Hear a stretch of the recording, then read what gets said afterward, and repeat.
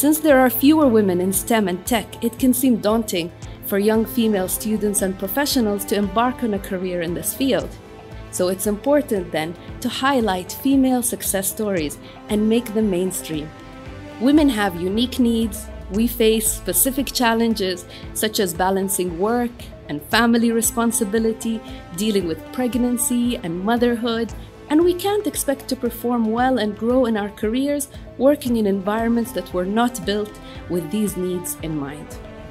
So, providing flexible work arrangements, offering parental leave and childcare support, ensuring equal pay and opportunities for advancement, and promoting a culture that values and respects diversity will create a more welcoming and supportive environment for women to grow their careers in the tech industry.